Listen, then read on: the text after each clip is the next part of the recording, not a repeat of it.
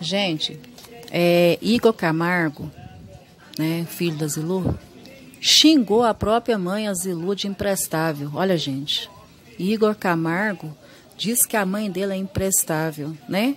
Porque não olhou ele quando ele era pequeno, foi criado com a babá, né? E hoje está querendo ter o, ter o filho, né? É, que, que conversa com ela, que vai na casa dela, né? E ele diz também, gente, tem uma mágoa muito grande da Zilu, da mãe dele, porque ela não criou ele, criou as meninas e ele foi criado com a babá praticamente, né, gente? E aí ele xingou ela de imprestável, né? E ele diz que ama Graciele, que ama a amante, né? Tem maior carinho por ela, gosta dela. E o pai dele também, ele diz que ama o pai dele, né? Tudo e diz que a Zilu não, nunca fez falta para ele nem vai fazer, tá?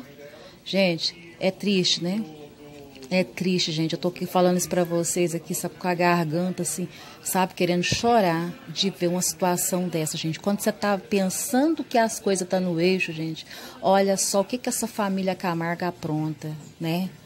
Olha só, gente, o que, que esse cara é capaz de fazer. Para que, que foi desligar para ter outro filho, para passar por isso, né, gente?